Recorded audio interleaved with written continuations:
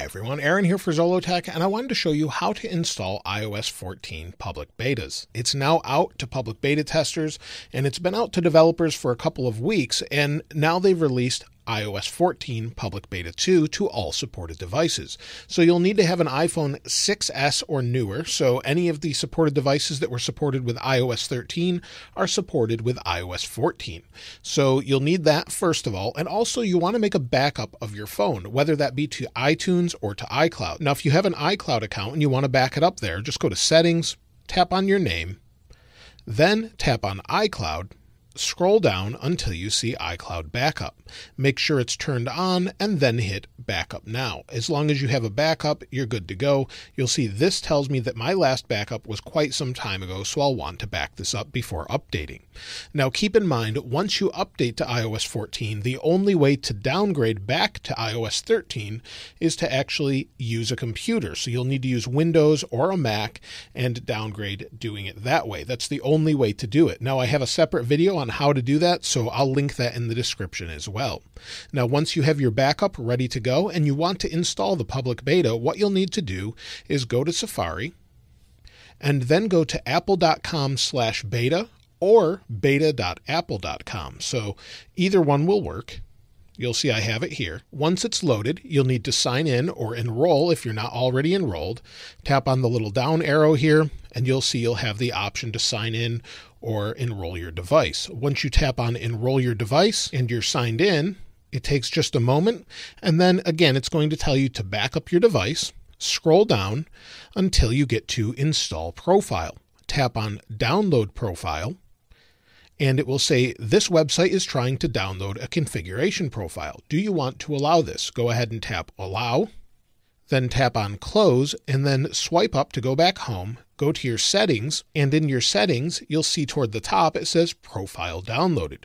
Tap on profile downloaded, tap on install, put in your passcode, then tap on install after you consent to the actual agreement here. Tap install again, and then tap on done.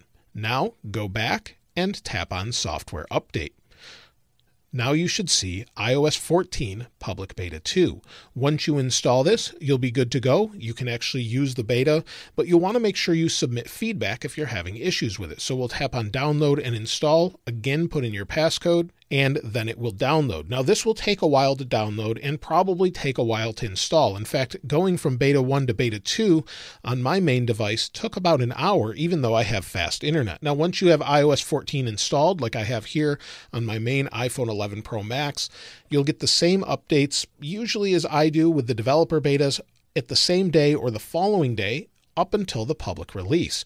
And so if you're having bugs or experiencing problems, that's completely normal. That's the point of beta testing is to find those bugs and report them to Apple using the feedback app. So if you swipe over, find the feedback app. Now depending where it is on your phone, you'll have this sort of app library layout, so it may be hard to find, so just tap in the top here and type feedback go into the feedback app. And once you're in the feedback app, you can see things like requests, recent activity, all of the different submissions that I've done.